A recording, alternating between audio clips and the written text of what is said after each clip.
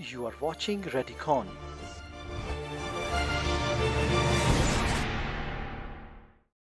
After these interesting and informative details about radiation and its sources, a basic question is, do we need radiation protection and why so? Why does it matter to plan and invest in radiation protection? What is so special and different about it? Well, it is mainly because of the fact that we cannot perceive radiation with our own five senses. Can we see radiation? Can we smell it? Or can we hear radiation? Can we touch it? Can we feel it?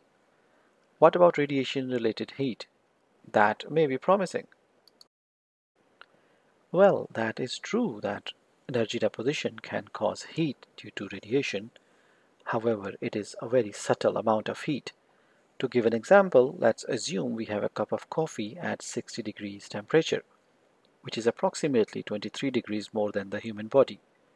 It means a difference of 23 degrees, so a sip of coffee containing 3 ml can impart approximately 69 calories of heat. On the other side, a lethal dose of radiation, 4 gray, which is enough to kill 50% of exposed population within 60 days, will have absorbed energy of 280 joules, also equivalent to 67 calories, almost a sip of coffee radiation are not perceived by human senses, which is why initial days of radiography and X-rays are full of radiation accidents. Unfortunately, these incidents were realized and picked up much later after significant damage was already done. Most of the early radiation injuries were to the hands of pioneer physicians and technicians. Chronic X-ray dermatitis, wrinkled and shriveled Roentgen hands of a physician are shown in this picture, he needed amputation of his fingers.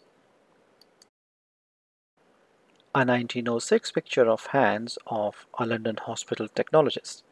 Ten years after commencing X-ray work, in the second picture he can be seen using his left hand near the unprotected tube, which likely resulted in the carcinoma of the dorsum of left hand, as shown in the picture. Another picture of hand of a 57 years old radiation worker after 27 years of radiographic work with advanced carcinoma, amputated fingers, and severe chronic dermatitis in rest of the hand. This is an example of radiation accident with skin injury, secondary healing, and residual fibrotic tissue with scar formation. A large-scale nuclear accident can be very disruptive for human life. These pictures are from Japan.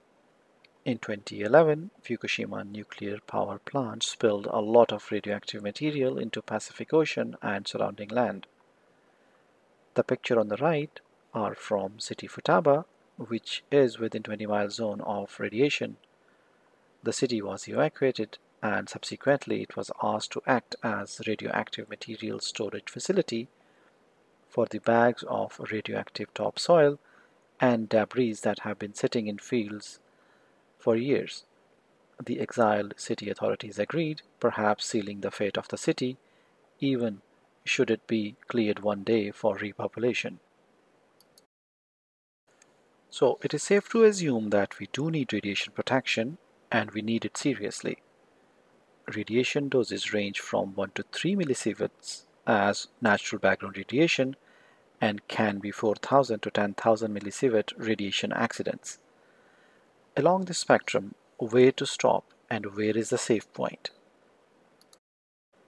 This video is presented in collaboration with Radicon Institute of Radiology. You are welcome to subscribe to our YouTube channel and click on the notification bell for updates.